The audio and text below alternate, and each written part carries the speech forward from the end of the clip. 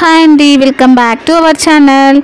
Morning blog అయితే start చేశాను. ఇంకా వీళ్ళకి బ్రేక్ఫాస్ట్ చేసి పెట్టాలి. మా పాప ఏది పెట్టినా తినడం లేదు. నోట్లో పెట్టుకొని ఊసేస్తుంది అని కమాండ్ పెట్టారు. నేను పిల్లల్ని గమనించినంత వరకు అయితే వాళ్ళకి నచ్చిన టేస్ట్ అయితే ఉండాలండి. లేకపోతే ఊసేస్తూ ఉంటారు.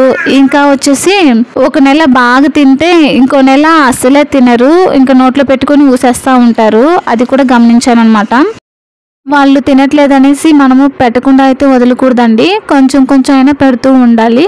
యాక్టివ్గానే ఆడుకుంటున్నారు. ఫుడ్ పెడితేనే ఊసేస్తున్నారు అంటే వరి అవ్వాల్సిన అవసరమే లేదు. ఇంకా వాళ్ళు పోను పోను తింటారు. మా పెద్దడు కూడా చిన్నప్పుడు అంతేనండి. ఏది ఇచ్చినా తినేవాడే కాదు. ఫుడ్ అయినా ఫ్రూట్స్ అయినా అస్సలు తినే తినడు.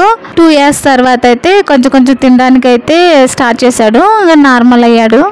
రాగి జావలో బెల్లం కాకుండా కొంచెం వెరైటీగా ఆలు క్యారెట్ని వేసి చేస్తున్నాను. ఇది కూడా చాలా బాగుంటుందండి. టేస్ట్ సూపర్ ఉంటుంది. ఇంకా పిల్లలు కూడా చాలా బాగా తింటారు.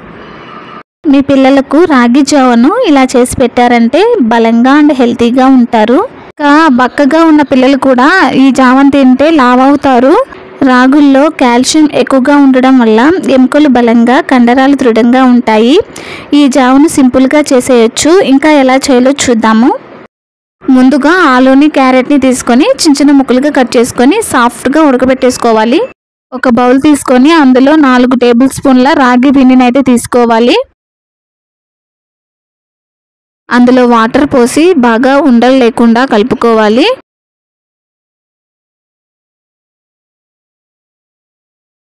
చూడండి ఇలా కలుపుకున్నాక దీనిని పక్కన పెట్టేసుకున్నాము